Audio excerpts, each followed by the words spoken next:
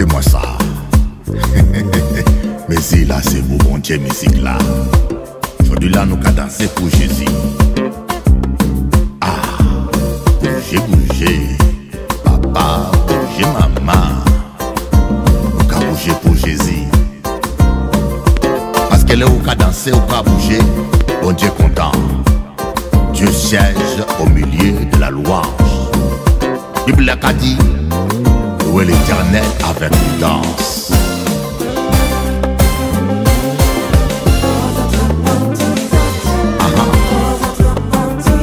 Ça c'est vrai ça. Yes. Ah, c'est vrai.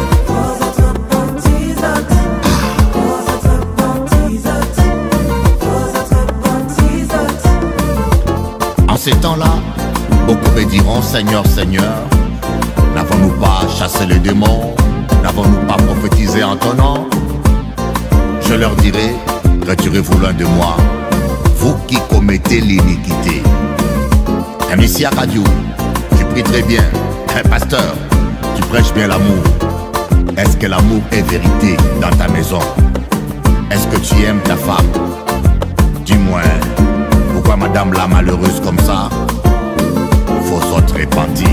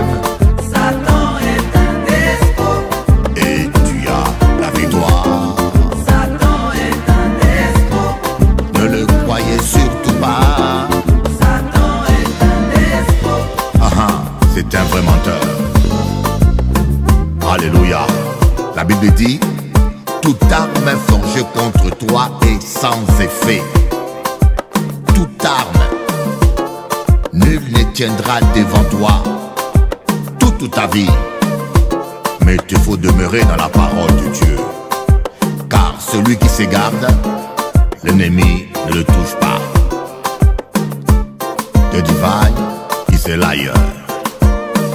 Demonio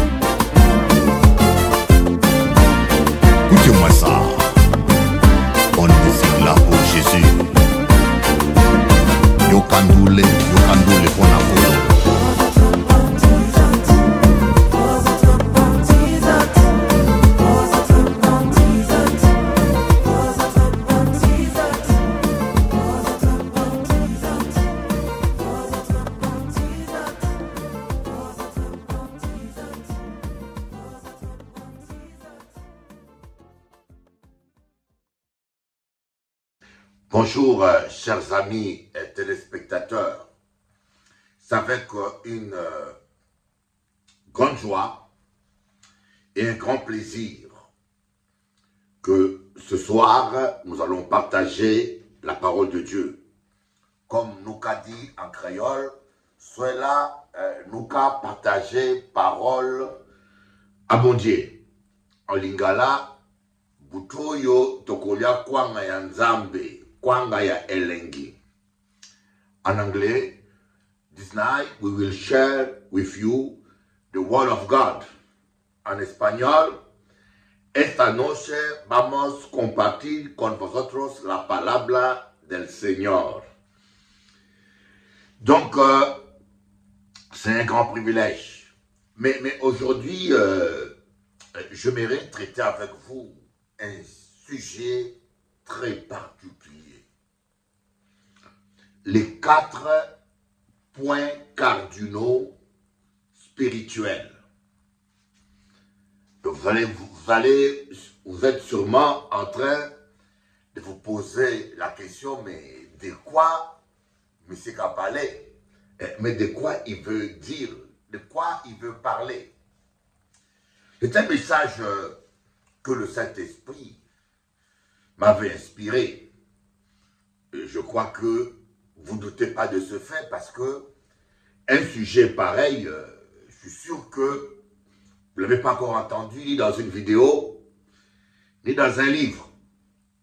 Les quatre points cardinaux spirituels. Et- pourquoi j'ai ce sujet? Parce que j'étais en train d'écrire mon livre sur le plan, la plénitude du plan parfait de Dieu. Et quand j'écrivais ces livres, c'est là que le Saint-Esprit a commencé à me parler des quatre points cardinaux spirituels. Vous voyez, lorsque un navigateur est en pleine mer, vous savez, en pleine mer, il y a un moment donné, quand vous êtes dans la mer profonde, euh, euh, vous ne voyez plus rien que l'horizon. Il n'y a pas de montagne, il n'y a rien. Et si vous n'avez pas de boussole, croyez-moi, vous allez vous perdre.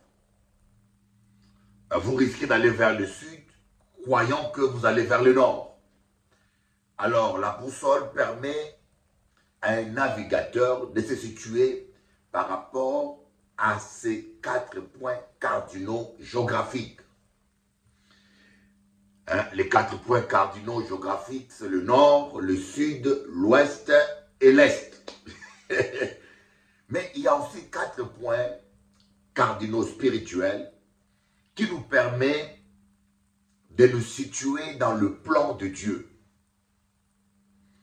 Ces quatre points, comme quatre repères, qui nous aidera à nous situer où on en est avec Dieu ou si on est encore dans la volonté parfaite de Dieu. Et bien sûr, nous allons voir au travers des Écritures les bases bibliques de cet enseignement. Alors, j'aimerais vous citer d'abord ces quatre points cardinaux. Après, chaque jour, nous allons développer un point. Le premier point, c'est la latitude la latitude. Le deuxième point cardinal spirituel, c'est l'altitude.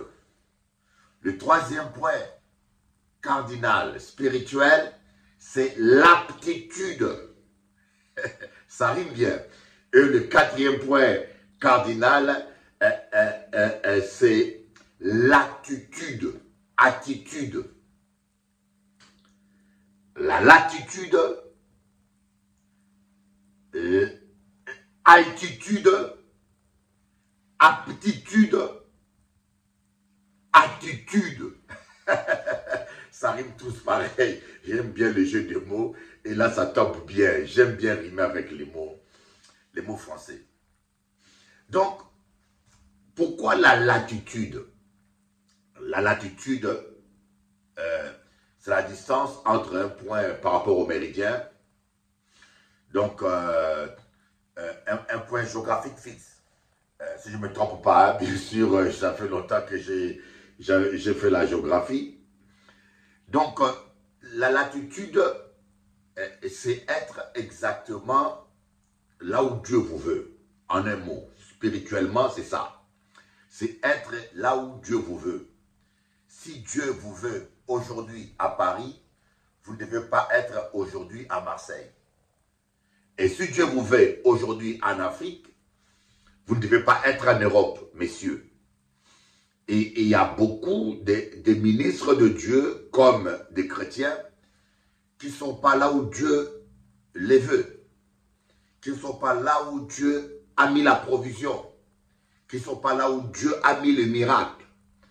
Euh, parce que simplement, ils se sont dirigés et ils se conduisent d'après leur convoitise.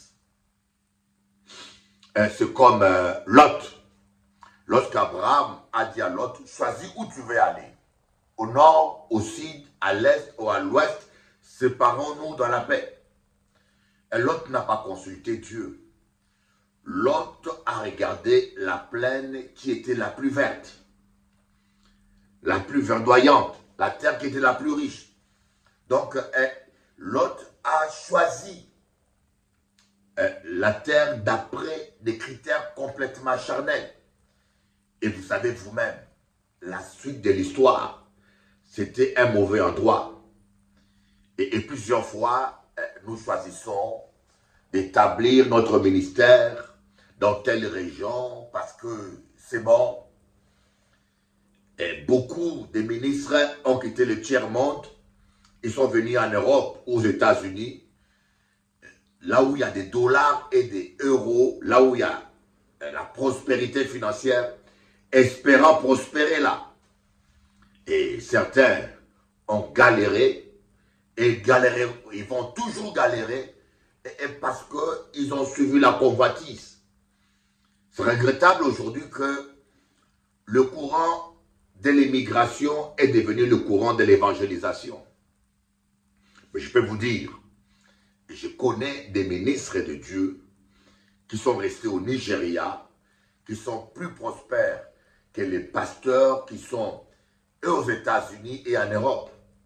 Il y a des ministres de Dieu qui sont restés à la RDC, République démocratique du Congo, ou en Afrique, qui prospèrent de loin dix fois, cent fois mieux que ceux qui sont en Europe. Voyez, l'élévation n'est pas à l'ouest, à l'est, mais l'élévation est dans la main de Dieu. Voyez, vous devez être là où Dieu vous veut et vous ne serez pas déçus. Donc voilà donc euh, euh, l'explication euh, du premier point euh, cardinal qui est la latitude. Et le deuxième point est cardinal que nous allons développer au deuxième jour, c'est l'altitude. Altitude. C'est quoi le mot altitude? Altitude, c'est la distance qu'un lieu géographique a en hauteur par rapport au niveau de la mer. Vous voyez, voyez Jéricho, par exemple, est la ville qui a la plus basse altitude dans le monde. Est-ce que vous savez ça? Jéricho, c'est la ville qui a la plus basse altitude dans le monde. C'est incroyable et cela coïncide avec le récit biblique que Dieu avait écrasé la ville de Jéricho. Il y a eu une pression surnaturelle qui a écrasé tout le mirail de Jéricho et qui a fait que le mirail se sont écroulés par la puissance de Dieu. Et sûrement cette ville a connu une baisse d'altitude. C'est extraordinaire comment la science, la géographie vient confirmer des récits bibliques. Et cela n'est pas anodin, bien sûr. Donc, c'était pour vous dire que lorsque euh, nous marchons avec Dieu, il y a une altitude à laquelle Dieu nous appelle. Quand je parle de altitude, c'est un niveau spirituel, un niveau de consécration. La consécration que Dieu va demander à Jean-Baptiste dans le ministère, c'est pas la même consécration qu'il va demander à Pierre ou à une autre personne. Jean-Baptiste devait vivre dans le désert, il devait manger des sauterelles, il ne devait pas se marier, parce que sa mission était d'une telle importance qu'il fallait une consécration de ce niveau-là. Et des fois, nous voulons faire des choses spirituelles dont on n'a pas les niveaux. Si Dieu vous appelle au ministère pastoral, il faut une consécration pastorale. Si Dieu vous appelle à un ministère apostolique, il faut une consécration apostolique. Voyez, mais, mais des fois, nous voulons, comment je vais dire, euh, nous voulons faire le travail dont nous n'avons pas la capacité. Nous voulons recevoir des bénédictions dont nous n'avons pas la capacité spirituelle de gérer. Des fois, nous demandons des, tâches à Dieu pour lesquelles nous ne sommes pas compétents. Donc, euh, parfois, Dieu veut nous utiliser, mais il attend que nous montons d'altitude, que nous puissions nous rapprocher un peu plus de lui, que nous puissions prendre un peu de distance par rapport aux choses terrestres. Et je veux rentrer en détail de cet enseignement, de ce deuxième point. Et le troisième point, c'est votre aptitude. Aptitude. L'aptitude, c'est, votre capacité de, réagir. Votre habilité, votre vitesse dans la réaction. Et, en parlant de, la vitesse, je voudrais bien que vous sachiez euh, distinguer ce que ce que la vitesse et la précipitation. Dans Proverbe, on dit que celui qui précipite, euh, c'est pas tombe euh, dans le péché. Mais c'est quoi la précipitation Et quelle différence y a-t-il avec la vitesse? En un mot, d'une manière plus simple et imagée, la précipitation, c'est danser plus vite que la musique. La musique a un tempo lent et toi tu bouges euh, euh, plus rapidement que la musique et ça colle pas. Donc se précipiter, c'est aller plus vite que l'esprit. Vous voyez? Se précipiter, c'est souvent s'engager dans des choses sans conviction. Sans conviction, sans révélation. Euh, l'esprit n'est pas là, mais toi, tu es déjà engagé. Pour vous donner un exemple biblique, euh, je vous parlerai de, de Moïse. Nous allons rentrer plus en profondeur sur l'aptitude. Aptitude. Moïse, depuis sa naissance, il a été choisi et appelé à libérer le peuple d'Israël. Il y a eu des prophéties. Il y a eu tellement de prophéties que cela est arrivé aux oreilles de Pharaon. Vous savez, il y a des prophéties qu'il ne faut pas donner aux ennemis. Il y a des informations qu'il ne faut pas donner aux ennemis. Et parfois, en vendant certaines informations, en informant nos ennemis des projets que Dieu a pour nos vies, bien sûr, ces projets vont se réaliser. Mais parfois, ils vont se réaliser avec beaucoup de souffrance et beaucoup de difficultés. Soyons sages, apprenons à être discrets, apprenons à garder le secret de Dieu. Et Moïse, en grandissant dans la maison de Pharaon, sûrement, il a su qu'il était juif, qu'il était hébreu, et qu'il devait délivrer le peuple, le peuple hébreu. Et qu'est-ce qu'il a, fait? Il s'est précipité. Il a agi dans la chair. Un jour, il n'a pas attendu le temps de Dieu. Un jour qu'il euh, traversait la ville, il a vu un Hébreu, un Égyptien qui frappait un Hébreu. Il est descendu de son char, il a tué l'Égyptien. Un autre jour, il était dans son char.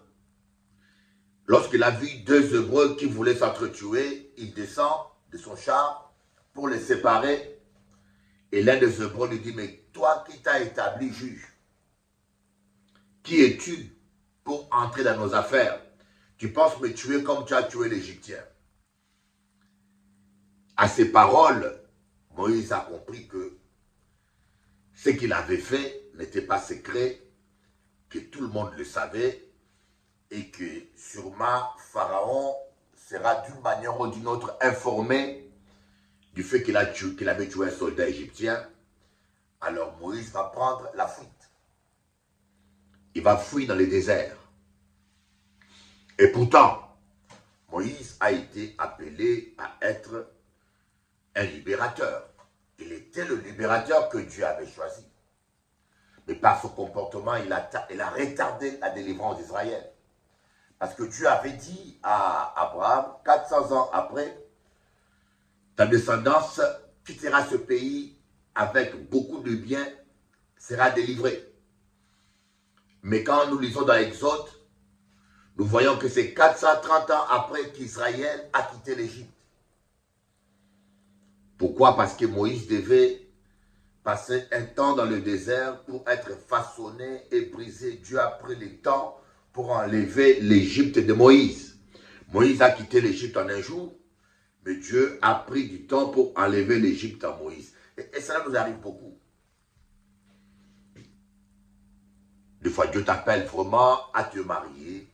Dieu t'appelle réellement au ministère. Dieu t'appelait à être apôtre, peut-être, ou pasteur. Mais des fois, lorsqu'on reçoit la révélation et la prophétie, on n'attend pas Dieu. On n'attend pas que Dieu nous façonne. On n'attend pas que Dieu nous brise. Et on se précipite dans ce ministère. Des fois, on n'est pas encore prêt.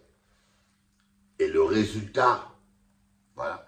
Donc, vous comprenez, le résultat des fois est négatif. Mais on dit, mais c'est Dieu qui m'a appelé. Eh oui, mais Dieu t'a appelé. Oui, mais tu t'es engagé dans la chair. Tu as commencé avant Dieu. Ne commencez pas après Dieu ni avant Dieu. Soyez synchro avec le Saint-Esprit. L'aptitude. Et Dieu aime des gens qui sont obéissants, qui sont rapides en ce qui concerne l'obéissance. Quand on dit sépare-toi, sépare-toi du mal rapidement, ne, renvoie pas ça à demain. On appelle ça en français la procrastination. Renvoyer à demain ce que tu peux faire aujourd'hui. Dieu déteste le, le fainéantisme. Vous devez être rapide quand il s'agit d'obéir à la parole de Dieu. Donc, nous allons développer ça le troisième jour en profondeur. Donc, ne ratez aucune émission. Et le quatrième jour, nous allons parler de votre attitude. C'est pas altitude, c'est pas latitude, c'est pas aptitude, mais votre attitude. Votre attitude intérieure vis-à-vis des autres, vis-à-vis des dieux, vis-à-vis des démons, vis-à-vis des obstacles et vis-à-vis -vis des événements. Votre attitude est primordiale et déterminante pour permettre à Dieu de réaliser certaines choses dans votre vie. Si vous avez la mauvaise attitude, Dieu n'agira pas. Si vous avez la mauvaise attitude, vous allez empêcher à Dieu euh, de se glorifier. La bonne attitude, c'est l'attitude de la foi.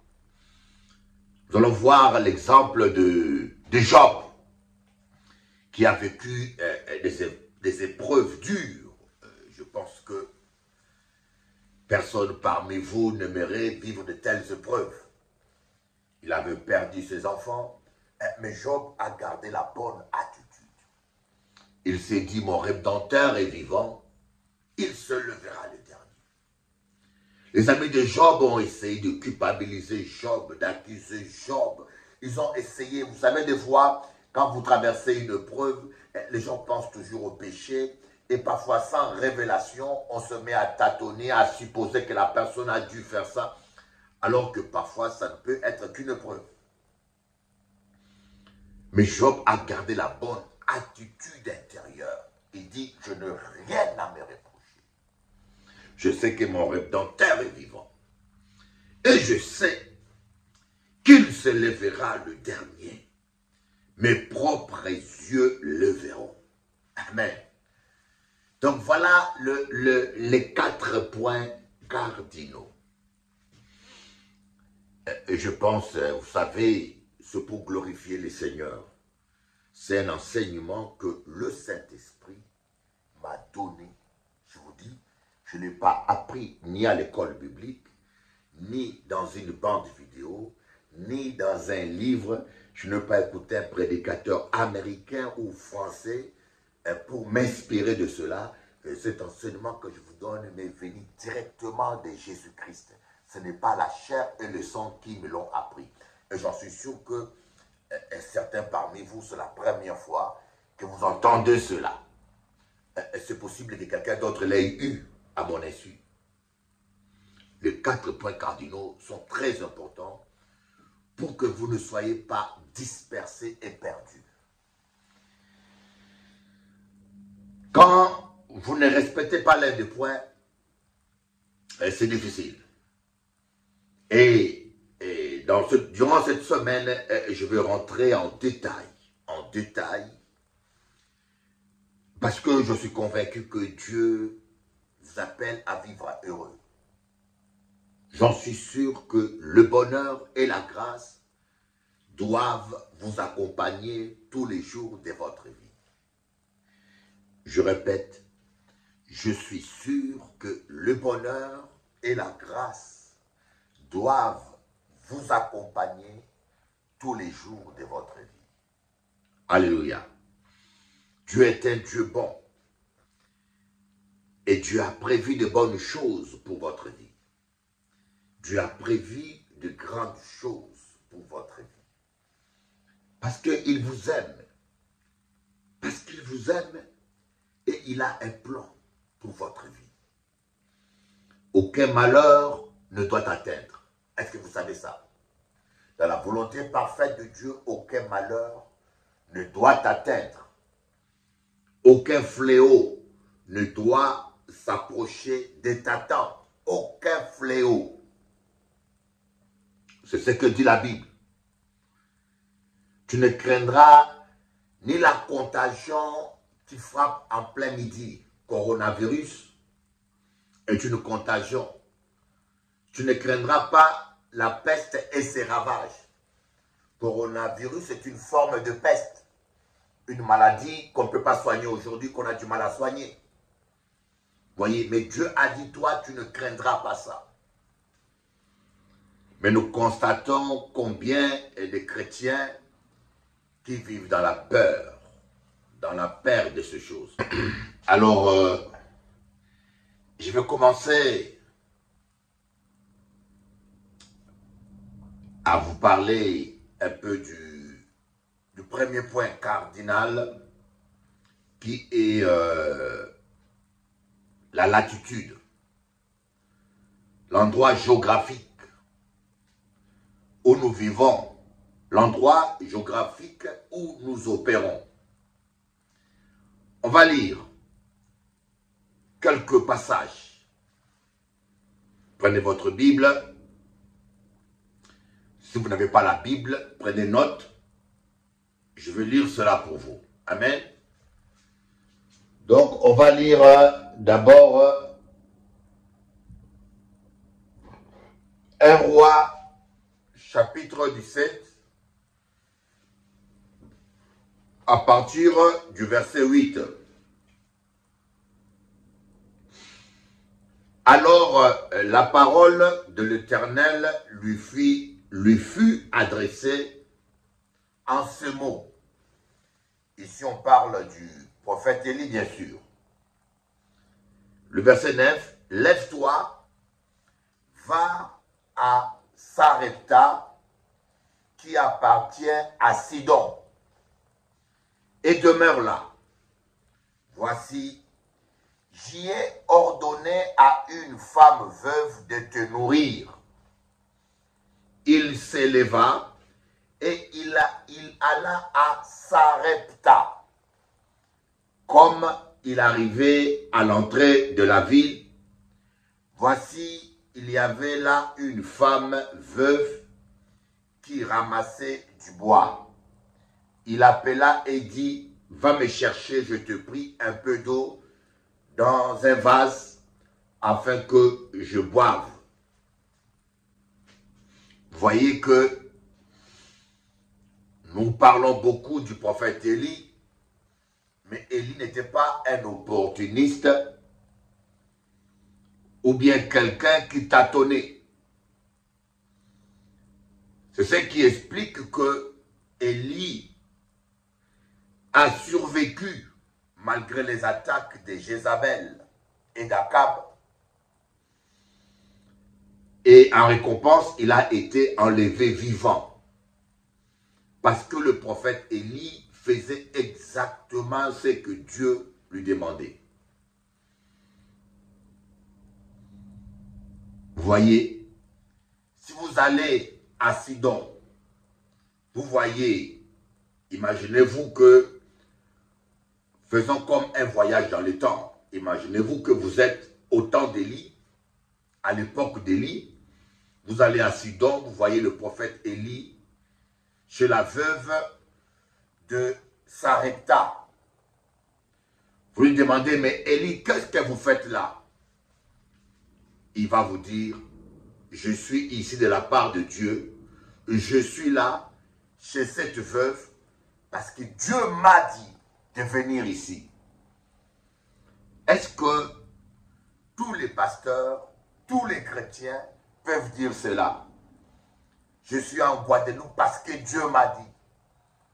Ou bien vous êtes venu en Guadeloupe parce que vous avez profité d'une opportunité ou d'une facilité.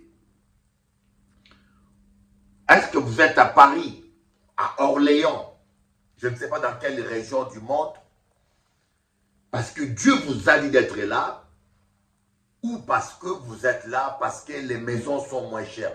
Moi, je connais quelqu'un qui m'a dit, euh, je vais aller vivre dans tel endroit parce que c'est moins cher.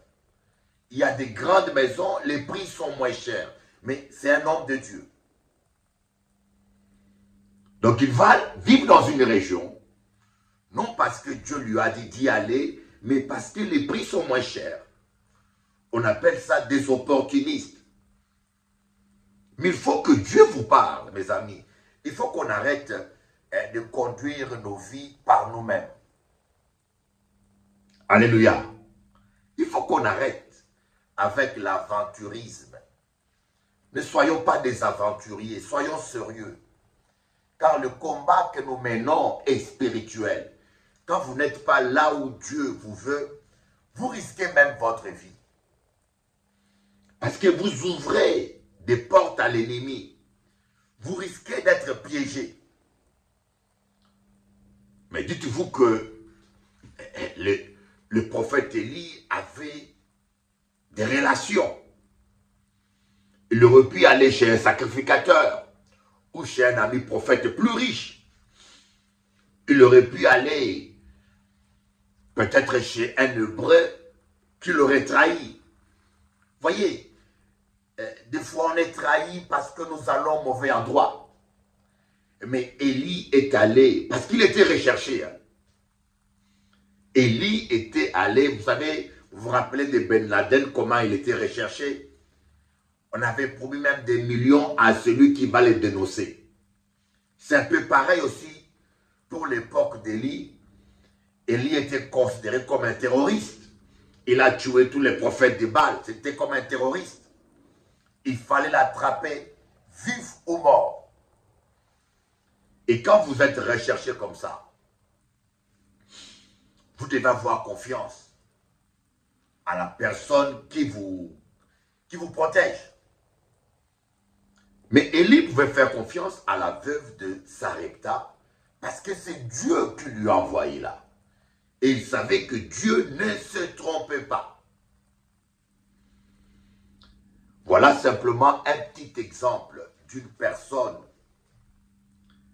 qui va quelque part. Et vous voyez, là où Dieu vous envoie, c'est là où il y a la provision. Remarquez bien. Logiquement, c'est l'endroit où Élie ne devait pas aller. Parce que cette femme était l'une des plus pauvres. Elle n'avait plus rien à manger. Il lui restait qu'un peu de gâteau et un peu d'eau. Donc logiquement, euh, euh, économiquement parlant, c'était l'endroit le pire où il pouvait aller. Comment peux-tu aller quelque part, te réfugier, te faire nourrir chez une personne qui n'a plus à manger? Vous voyez que les voix de Dieu sont élevées au-dessus de nos voix. Les voix de Dieu ne suivent pas notre logique. Vous comprenez? Les voix de Dieu ne suivent pas notre logique. Je vais parler aux jeunes ministres de Dieu. Lorsque Dieu vous appelle, eh, ne dites pas en vous-même que je vais aller aux États-Unis ou à Londres parce que la vie est, il y a l'argent là-bas ou parce que, non, vous n'êtes pas de, de- des migrants économiques. Vous êtes un serviteur de Dieu. Vous devez être conduit par l'Esprit de Dieu. Dieu peut vous envoyer en Haïti. Et bien sûr, je ne connais pas encore un missionnaire africain qui est installé en Haïti. Même français, il y en a très peu. Mais Dieu peut vous envoyer dans un pays comme cela. Il fait de miracles financiers et matériels. Vous devenez une bénédiction pour le pays, pour la veuve haïtienne. Et vous êtes plus bénis que ceux qui sont en Europe.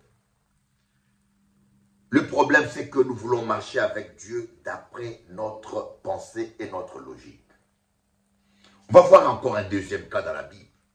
Parce que ce que moi, euh, j'enseigne, euh, euh, je l'appuie avec la parole de Dieu. C'est très important que nous soyons basés et fondés dans la parole du Seigneur. On va lire maintenant un roi chapitre 17, verset 4. Un roi chapitre 17, verset 4. Tu boiras de l'eau du torrent et j'ai ordonné au corbeau de te nourrir. Là, il partit et fit selon la parole de l'Éternel et il alla s'établir près du torrent de Kérich qui est en face du Jourdain. Le corbeau lui apportait du pain et de la viande le matin, du pain et de la viande le soir, et il buvait de l'eau du torrent. 1 roi 17, verset 4. Extraordinaire. Voyez Élie qui était recherché, qui n'avait pas de revenus, qui n'avait pas de quoi manger. Dieu va lui dire, tu vas aller près d'un torrent. Quand vous êtes là où Dieu vous veut, Dieu est le plus grand logisticien. La logistique. Dieu est le plus grand logisticien. Quand Dieu vous envoie quelque part, vous n'avez pas à vous inquiéter. La plupart des problèmes que nous avons parce que nous ne sommes pas là où Dieu nous veut. Aujourd'hui, nous sommes devenus des opportunistes, nous les chrétiens. Tu vois un chrétien qui voyage, qui dit, écoutez, je vais aller vivre en métropole. Pourquoi? Ah, Parce qu'il y a du travail là-bas. Est-ce que tu as prié? Est-ce que Dieu t'a parlé? C'est le moindre de soucis. Mais par contre, le soir, on ouvre la Bible, on crie à haute voix pour que les démons entendent et même que le voisin entende. L'éternel est mon berger, je ne manquerai de rien. Eh, Mais un berger est un guide. Les brebis entendent la voix du berger et le suivent. Et toi, tu décides de ta vie sans que le berger t'aille parlé. Voyez comment nous sommes parfois en contradiction. Et en fin de compte, eh, nos vies ne reflètent pas ce qu'elles devaient refléter. Et nos vies ne sont pas toujours à la gloire de Dieu, malheureusement. Alléluia. Le prophète Élie est allé exactement là où Dieu le voulait. Et dites-vous, je ne sais pas, même dans la Bible, s'il y a un passage où les corbeaux nourrissent quelqu'un. Et vous savez que d'après la loi, hein, les corbeaux sont des oiseaux impurs. D'après la loi, d'après la logique de la loi, les corbeaux sont des oiseaux impurs. Et bien qu'ils ont des corps qui sont très beaux,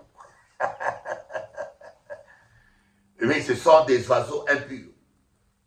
Et Dieu va ordonner aux corbeaux de nourrir. Les corbeaux sont rentrés en gêne. Les corbeaux ont commencé à travailler pour nourrir un homme de Dieu.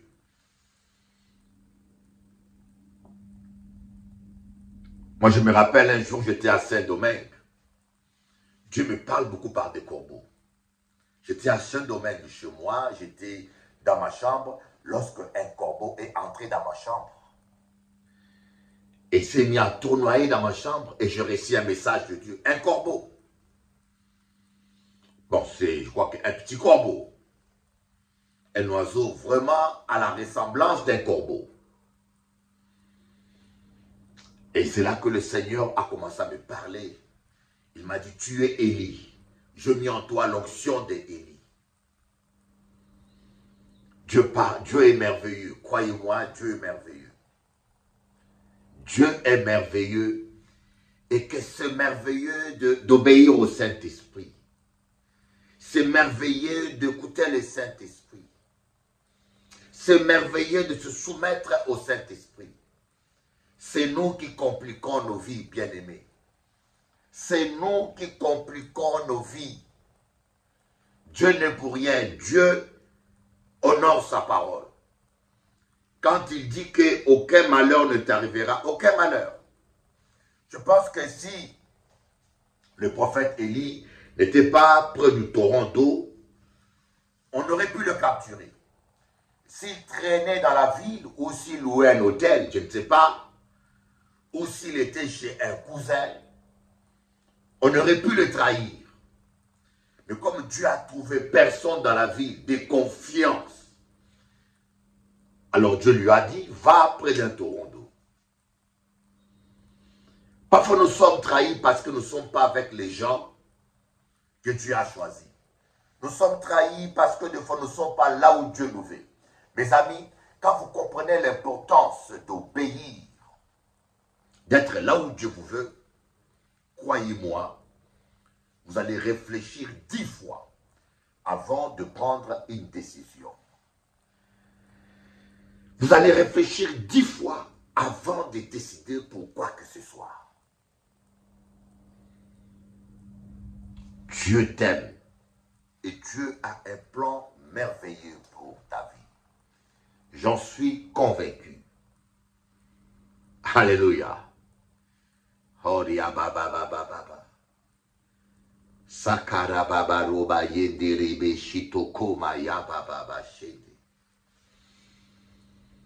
Ressaisis-toi. Dernièrement, Dieu m'avait parlé la nuit sur un pasteur que je connais qui est un ami. Dieu m'a dit, voilà cet homme-là. Son ministère devait être au Gabon. Et je vous dis, c'était clair. Parce que je ne pensais même pas à lui. Mais il est à Paris. Et Dieu m'a enlevé en esprit. J'ai vu son ministère au Gabon. Il avait un ministère prospère. Prospère. Les autorités étaient sous ses pieds. À genoux. Alors je prends mon téléphone, je l'appelle, je dis écoutez mon frère, c'est un Congolais. Voilà la vision que j'ai eue sur toi. Dieu m'a dit que tu dois être au Gabon. Et à ma grande surprise, vous savez, quand Dieu parle, il y a toujours des confirmations. Hein. Quand Dieu parle. À ma grande surprise, il va me dire, oui, Bishop, mon père était gabonais. Moi, je ne savais pas ça. Pour moi, il était congolais. Donc, son père était gabonais, sa mère congolaise. Donc, Dieu l'avait prévu dans le, dans le pays de son père. Et eh mais je peux vous dire jusqu'aujourd'hui, cet homme n'est jamais retourné au Gabon. Il n'est jamais allé d'après la vision que Dieu m'a donnée. Et je suis sûr qu'il va galérer, il va tourner en rond. Nous tournons en rond parce que nous sommes devenus des opportunistes. Moi, j'étais allé à... Je suis allé plus de cinq fois, c'est pas six fois, en Colombie. J'ai fait Bogota, j'ai fait Barranquilla, j'ai fait Cali, j'ai fait Medellín. Je voyageais dans tout Colombie. Et à Bogota, mon ami pasteur Dario Gutiérrez, il a une église de plus de 3000 maintenant, c'est 7000 membres. Quand je prêche là-bas, c'est un événement. Les fidèles même, vraiment, Ces gens m'aiment. Et qu'est-ce qui va m'arriver? Son assistant va me côtoyer pour me demander de faire une église avec lui à Bogota. Son assistant. Il a écrit un livre. Et vous savez, je déteste la trahison. Je n'ai jamais été traître. Je déteste la trahison. Les gens qui sont des traîtres, vous ne pouvez pas dire que Dieu vous a envoyé quelque part et vous y allez diviser une église. Non, si Dieu vous a envoyé quelque part, Dieu va pouvoir lui-même.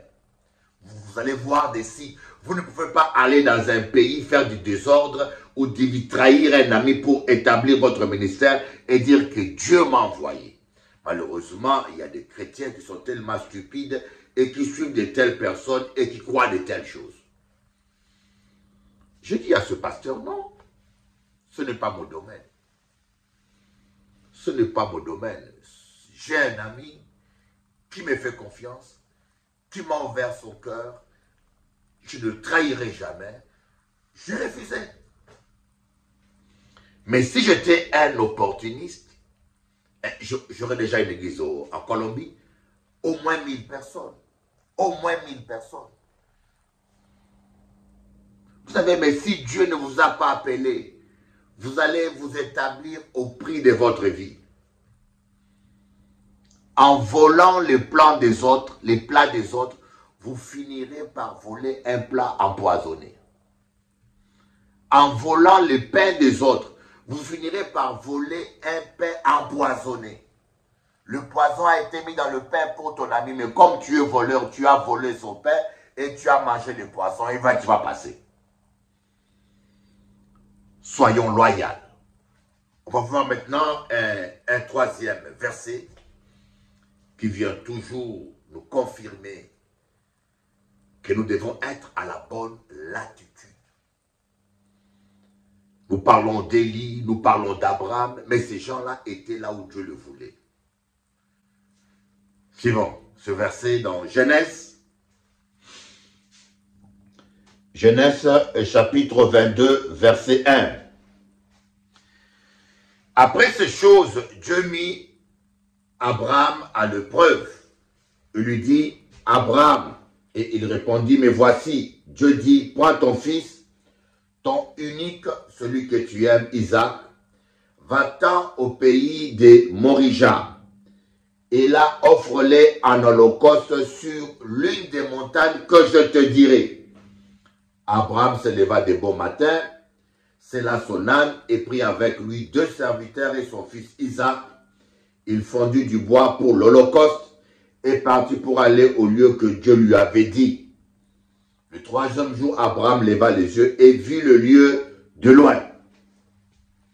Voyez, Dieu n'est pas dans le hasard, dans les coïncidences, dans les tâtonnements. Dieu est un Dieu de précision. Dieu va mettre Abraham à l'épreuve. Mais il a dit Abraham, va dans le pays de Morija. Moi j'aime ça. Vous savez, le problème que nous avons, nous aimons savoir tout. Nous voulons savoir le commencement de l'histoire et la fin de l'histoire. Mais parfois Dieu, c'est quelqu'un qui nous amène progressivement. On appelle ça la révélation progressive. Dieu dit Abraham d'aller à Morija. Je dis bien ça, c'est Morija, si je prononce bien les mots.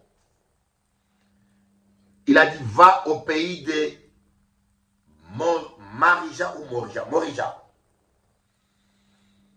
Mais Dieu n'a pas tout montré à Abraham. Il dit, une fois que tu seras dans le pays de Morija, je te montrerai la montagne où tu vas faire le sacrifice. Ça des fois, Dieu nous appelle. Moi, quand Dieu m'a appelé, j'étais trop pressé. J'ai reçu plus de 80 prophéties, non, plus de 40, sur mon appel par 40 personnes différentes.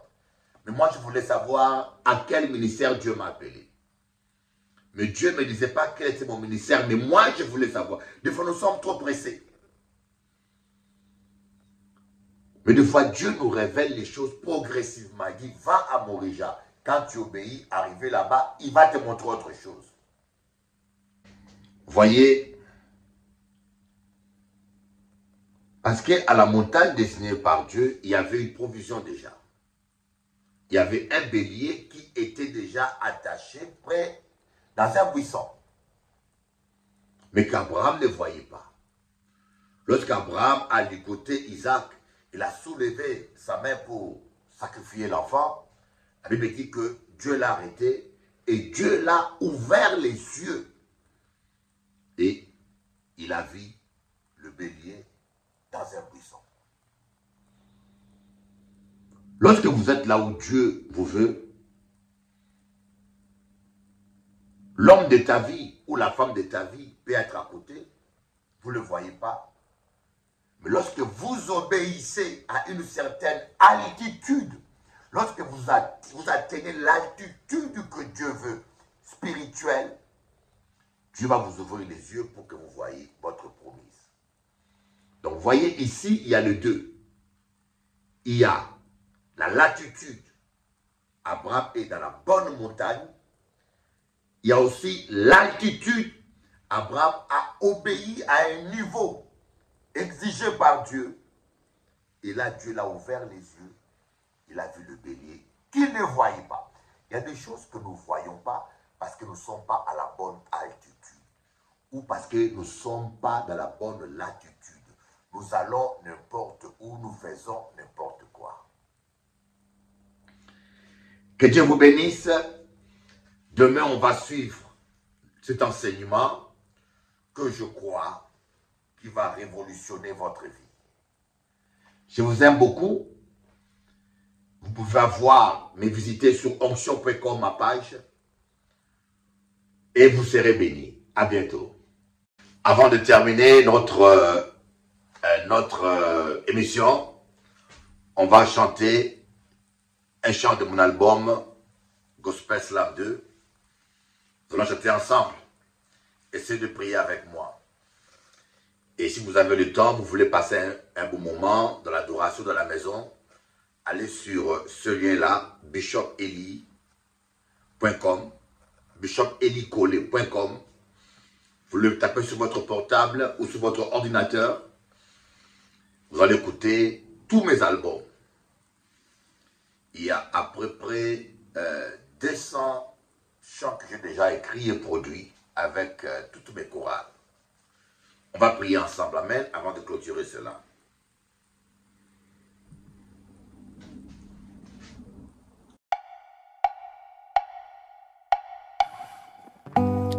Vers toi que je tourne ma face. Ô Dieu, exauce ma prière.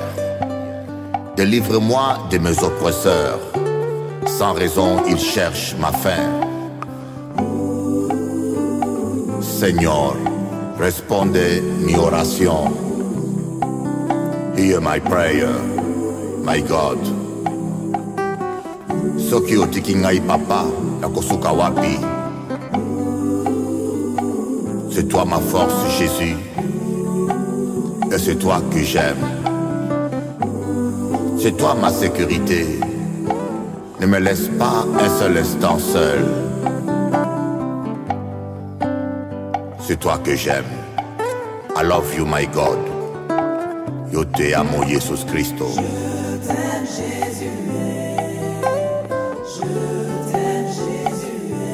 Te amo mucho, Jesús. Te amo mucho, mi Señor.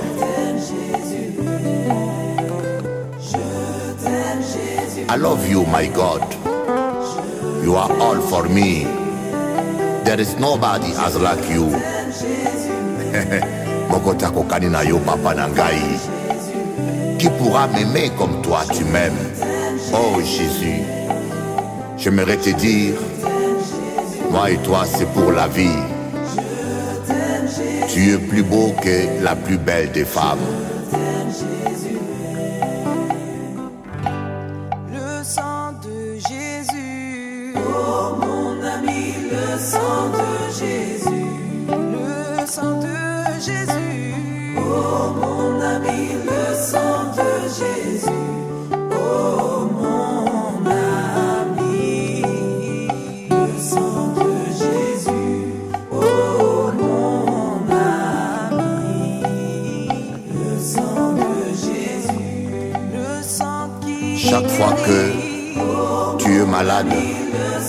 Chaque fois que tu te sens perdu, sang chaque fois que tu sens que tu es oppressé, chante ce chant.